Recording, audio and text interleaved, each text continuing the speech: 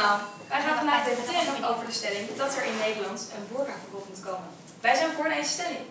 Ehm, ik wil graag iets, een voorbeeldje vertellen. Ik zat vroeger op ballet. Ik was klein. Alle kindjes hadden een blauw pakje aan. En er was één meisje en die kwam voor het eerst en die had van haar opa en oma een prachtige tutu gekregen. Zij mocht eigenlijk dus niet, maar zij wist het nog niet en zij liep in die prachtige tutu.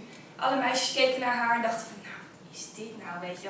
En dat verschil in gelijkheid op die leeftijd, dat zorgt al voor conflicten en negatieve blikken over en weer.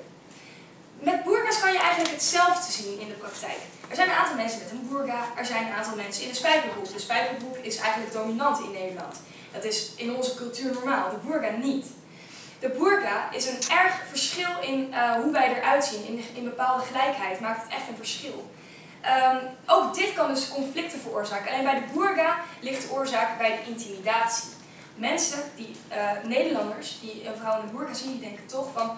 Nou, dat, het is vreemd voor mij, ik kan die persoon niet goed zien, het is, het is raar. En dat veroorzaakt nou eenmaal conflicten of ontloping. Dat willen we niet. De burga is een alles behalve de ogen bedekkend gewaad.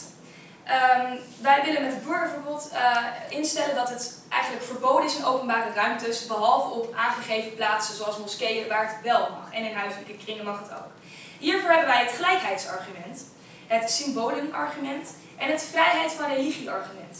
Het gelijkheidsargument. Het is belangrijk, zoals in mijn, uit mijn voorbeeld al duidelijk werd, dat iedereen gelijk is. Nou heb je altijd wat verschillen, maar de burka is een enorme barrière voor de Nederlanders om contact te maken met deze mensen. Dankzij deze barrière vindt er ook geen integratie plaats. En dat is nou juist wat wij wel willen. Maar het wordt dus uh, belemmerd door de boerga. Een waarde in Nederland is dan ook dat mensen zich kunnen identificeren. De boerga belemmert dit. Het is dus niet handig in de Nederlandse cultuur. Daarom alleen al willen we eigenlijk dat de boerga verboden wordt. Dan het symbolenargument. Een boerga staat symbool voor uh, vrouwenonderdrukking. Ook staat de burka symbool uh, als een soort afstand tussen de uh, religie van de moslims en onze cultuur. Alsof zij eigenlijk ja, niet willen integreren in onze cultuur. Um, dit creëert een afstand tussen deze vrouwen en tussen Nederlanders. Dit maakt het integreren erg lastig. En wij willen juist wel dat deze mensen integreren. Wij willen contact leggen. Maar beste jury, als je nou iemand ziet met zo'n boerga, dan is het toch net alsof diegene ook zoiets heeft van, oh, blijf maar bij mij vandaan. Dat belemmert dus de integratie. Dan het vrijheid van religie-argument. In de Koran staat nergens dat de boerga verplicht is, zelfs een hoofddoek niet. Maar door de man, uh, mandominantie en de vrouwenonderdrukking is dat in hun cultuur zelf zal ontstaan.